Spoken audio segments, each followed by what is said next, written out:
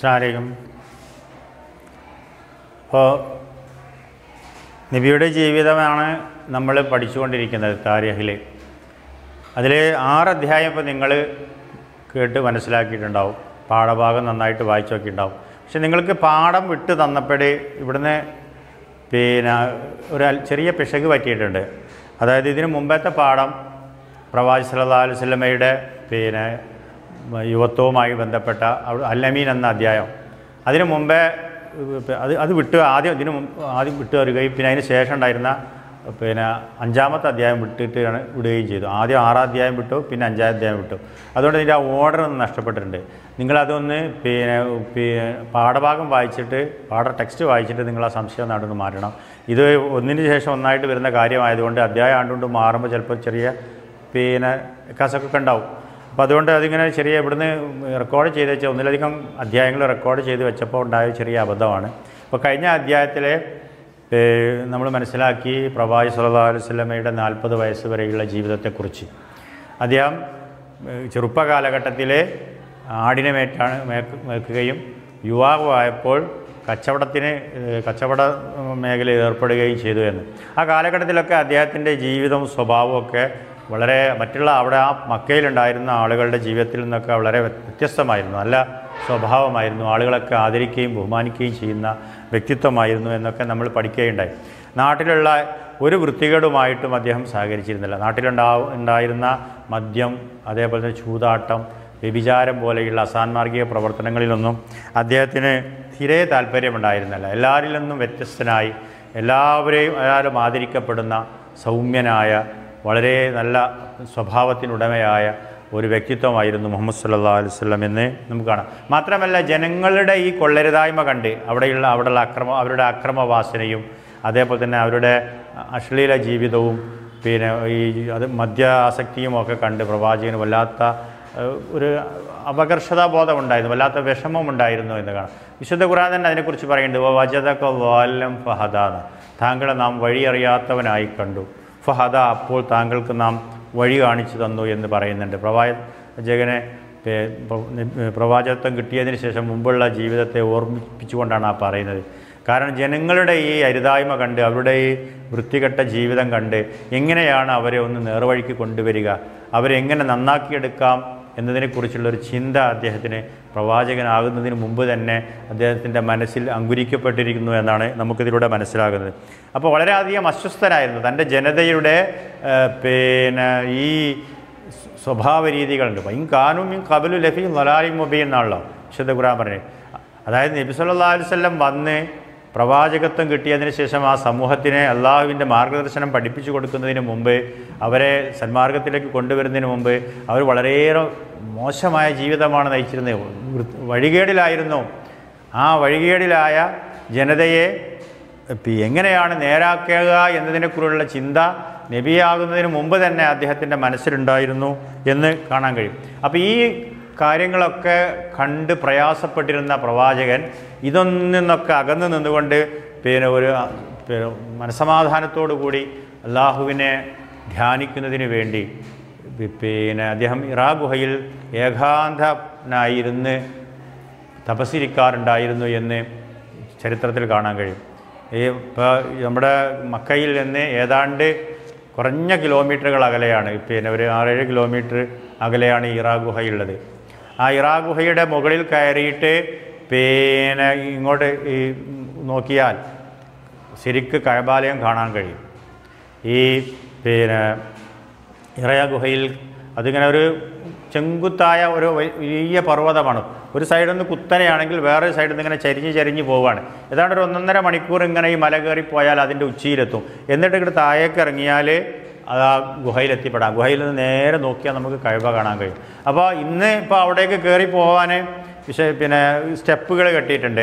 സൗകര്യപ്പെടുത്താൻ വേണ്ടിയിട്ട്. കാരണം ഈ ചരിഞ്ഞ മലയിലൂടെ കയറി പോകുമ്പോൾ ഉരുണ്ട് താഴെ വീഴാതിരിക്കാൻ വേണ്ടി സ്റ്റെപ്പ് കെട്ടിയതായി കാണുക അള്ളാവിന്റെ അനുഗ്രഹത്താൽ എനിക്ക് ആ ഗുഹയിൽ കയറിയിട്ട് ആ പിന്നെ അവിടെ നിന്ന് ഇതൊക്കെ നോക്കി കാണാനുള്ള ഒരു ഭാഗ്യം കിട്ടിയിട്ടുണ്ട്. അപ്പോൾ ഞാൻ പറഞ്ഞു വരുന്നത് എന്താ വെച്ചാൽ ഇങ്ങനെ നമ്മൾ അവിടെ നേരിട്ട് ഗുഹ കാണുമ്പോൾ എങ്ങനെയാണ് ആ കാലഘട്ടത്തിലെ പ്രവാചകനെ അവിടെ ഇത്രയും സാഹസപ്പെട്ട് കയറിയിരുന്നത് നമുക്ക് പിന്നെ തോന്നിപ്പോകും. മാത്രമല്ല അവിടെ ഇറാ ഗുഹയിൽ ധ്യാനനിരതനായിരിക്കുന്ന പ്രവാചകനെ ഭക്ഷണങ്ങൾ അവിടുത്തെ പത്നി ഖദീജ റളിയല്ലാഹു നൽകിയിരുന്നതായും ചരിത്രത്തിൽ കൊണ്ടു കൊടുത്തിരുന്നതായും ചരിത്രത്തിൽ കാണാൻ കഴിയും. അപ്പോൾ അത്രയും സാഹസപ്പെട്ടുകൊണ്ട് അദ്ദേഹം ഇറാ ഗുഹയിൽ കയറിയിരുന്ന് പിന്നെ അള്ളാഹുവിനെ ധ്യാനിക്കാറുണ്ടായിരുന്നു എന്ന് നമുക്ക് കാണാൻ കഴിയും. അങ്ങനെ നാൽപ്പതാമത്തെ വയസ്സിൽ റമദാ മാസത്തിലെ അവസാനത്തെ രാവുകളിൽ ഇങ്ങനെ ധ്യാന ധ്യാ- നിരതനായിരിക്കുമ്പോഴാണ് അള്ളാഹുവിന്റെ ദിവ്യ വെളിപാട് അദ്ദേഹത്തിനുണ്ടാകുന്നത്. ഈ ഇറാഖുഹയിൽ വെച്ചാണ് പ്രവാചകൻ ആദ്യമായി അനുഭവത്തിൽ ലഭിക്കുന്നത്. അള്ളാഹു പ്രവാചകനെ മുഹമ്മദ് സല്ലാഹു അലൈഹി സ്വലമയെ പ്രവാചകനായി തിരഞ്ഞെടുക്കുന്നത് ഇറാഖുഹയിൽ വെച്ചാണ്. ആ ദിവ്യ വിടുപാട് നൽകിക്കൊണ്ടാണ്. നാൽപ്പതാമത്തെ വയസ്സിൽ അത് റമദാനിലെ അവസാനത്തെ രാവുകളിലായിരുന്നു എന്ന് പറയുന്നത്. കാരണം വിശുദ്ധ ഖുർആൻ ഇറങ്ങിയത് ലൈലത്തുൽ ഖദറിലാണ്. ഇന്ന അൻസൽനാഹു ഫി ലൈലത്തുൽ ഖദർ. ലൈലത്തുൽ ഖദറിലാണ് നാം ഈ വിശുദ്ധ ഗ്രന്ഥത്തെ ഇറക്കി തന്നത് എന്ന് വിശുദ്ധ അള്ളാഹു സുബാനത്തല പറയുന്നത് മാത്രമല്ല ലൈലത്തുൽ ഖദർ റമദാനിലാണെന്നും തന്നെ വിശുദ്ധ ഖുർആൻ പറയുന്നുണ്ട്. അപ്പോൾ അതുകൊണ്ട് ലൈലത്തുൽ ഖദറിലാണ് അള്ളാഹു സുബാനുത്തല പ്രവാചകന് ദിവ്യ വെളിപാട് ആദ്യമായി നൽകുന്നത്.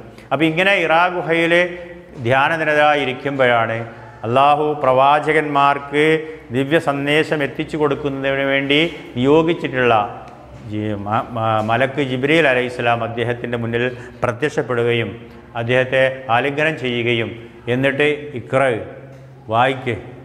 ഇന്ന് തുടങ്ങുന്ന വിശുദ്ധ ഖുറാനിലെ ആദ്യത്തെ വചനങ്ങൾ അദ്ദേഹത്തിന് ചൊല്ലിക്കൊടുക്കുകയും ആദ്യം ഇക്ര എന്ന് പറഞ്ഞപ്പോൾ മാനവിക്കാരി ഞാൻ വായിക്കില്ല എനിക്ക് വായിക്കാനറിയാം കാരണം പ്രവാചകനെ എഴുത്തും വായനയൊന്നും പഠിച്ചിട്ടില്ല പ്രവാചകനാവുന്നതിന് മുമ്പ്. അതുകൊണ്ട് തന്നെ അദ്ദേഹം പറഞ്ഞു എനിക്ക് വായിക്കാൻ അറിയില്ല വീണ്ടും അദ്ദേഹത്തെ കൂട്ടിപ്പിടിച്ച് വിട്ട് വീണ്ടും ഇക്ര ഇക്ര എന്നിങ്ങനെ ആവർത്തിച്ച് മൂന്ന് പ്രാവശ്യം വായിച്ചു. എന്നിട്ട് തുറന്നിട്ട് അദ്ദേഹം വായിക്കാൻ പറഞ്ഞു. ഇത് തുറന്നിട്ട് അദ്ദേഹം ഇങ്ങനെ പറഞ്ഞു ഇക്ര ബിസ്മി റബ്ബിക്കല്ലതി ഹലക്ക് ഹലക്കൽ ഇൻസാനമിൻ അലക്ക് ഇക്ര വ റബ്ബുക്കൽ അക്രം. വായിക്കുക. ഇക്ര സ്മി റബ്ബിക്കല്ലതി ഹലക്ക് നിന്നെ സൃഷ്ടിച്ച നിന്റെ രക്ഷിതാവിന്റെ നാമത്തിൽ നീ വായിക്കുക. ഇക്ര ബിസ്മി റബ്ബിക്കല്ലതി ഹലക് ഹലക്കൽ ഇൻസാന മിൻ അലക് മനുഷ്യനെ അവൻ അലക്കിൽ നിന്ന് രക്തപിണ്ഡത്തിൽ നിന്ന് സൃഷ്ടിച്ചു. അല്ലതി അല്ലമ ബിൽ കലം പേന കൊണ്ട് പഠിപ്പിച്ചത്. അല്ലമൽ ഇൻസാനമാലം മനുഷ്യൻ അറിയാത്ത കാര്യങ്ങൾ പഠിപ്പിച്ചു കൊടുത്തവൻ.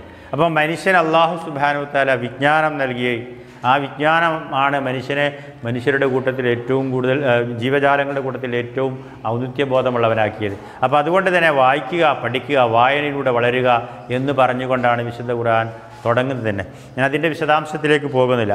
അങ്ങനെ ജിബിരി അലൈഹിസ്ലാം ഇത് വീണ്ടും വീണ്ടും ആവർത്തിച്ചപ്പോൾ പ്രവാസ് അല്ലാസ്ലാം അത് ഏറ്റു പറഞ്ഞു. എന്നിട്ട് അവിടെ നിന്ന് ഭയവിഹ്വലനായി പേടിച്ചരണ്ട്. അദ്ദേഹം ജീവിതത്തിൽ ആദ്യമായിട്ടാണ് ഇങ്ങനെ ഒരു സംഭവം അനുഭവപ്പെടുന്നത്. അതുകൊണ്ട് അദ്ദേഹം അവിടുന്ന് എന്ത് ചെയ്യുന്നു? ഇറങ്ങി ഓടുകയാണ്. അവിടുന്ന് ധൃതിപ്പെട്ട് എപ്രാളപ്പെട്ട് ഭയവിഹ്വലനായി വന്ന് വീട്ടിൽ വന്ന് ഭാര്യയോട് പറഞ്ഞു ജമ്മിലൂനി ജമ്മിലൂനി എന്നെ പൊത പൊത- പുതപ്പിട്ട് മൂട് എന്ന് പറഞ്ഞ് വെപ്രാളപ്പെട്ടു മാത്രമല്ല അദ്ദേഹത്തിന് പനി ഈ ഭയത്താൽ അദ്ദേഹത്തിന് പനി വന്നിരുന്നു. ഖദീജ വൻഹായോട് പ്രിയപത്നിയോട് ഈ വിവരങ്ങളൊക്കെ പറഞ്ഞപ്പോൾ അദ്ദേഹം സമാശ്വസിപ്പിക്കും. സാരമില്ല. നിങ്ങൾ നിങ്ങളുടെ രക്ഷിതാവ് ഒരിക്കലും കൈവടിയുകയില്ല. കാരണം നിങ്ങൾ മനുഷ്യസ്നേഹിയാണ്. ഇവിടെയുള്ള പാവപ്പെട്ടവരെയും അശ്രരെയും കഷ്ടപ്പെടുന്നവരെയൊക്കെ സഹായിക്കുന്നവരാണ്. ജനങ്ങളോട് കരുണ കാണിക്കുന്നവനാണ് അതുകൊണ്ട് ഒരിക്കലും കരുണാവാരിയായ ദൈവം തമ്പുരാൻ നിങ്ങളെ പ്രയാസപ്പെടുത്തുകയില്ല. ഇത് നിങ്ങൾ ഇതിൽ നിങ്ങൾക്ക് എന്തോ ദിവ്യ വെളിപാടാണ് എന്ന് പറഞ്ഞുകൊണ്ട് അദ്ദേഹത്തിന്റെ പത്നി അദ്ദേഹത്തെ സമാശ്വസിപ്പിക്കുകയാണ് ചെയ്തത്.